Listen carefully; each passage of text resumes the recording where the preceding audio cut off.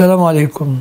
وعليكم السلام ورحمة الله وبركاته. نعم. الشيخ قرأت في حديث أن سيدنا آدم عليه السلام احتج بال- بالقدر في المعصية يعني. على الم... على السابق مش على الآتي.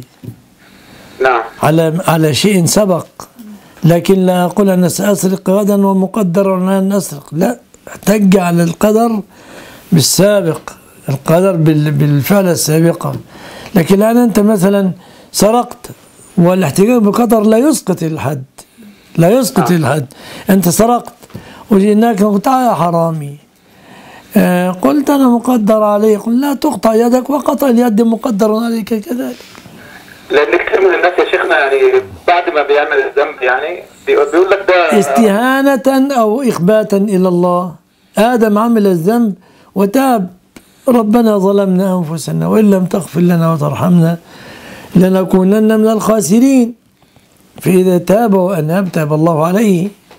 نعم. السلام عليكم.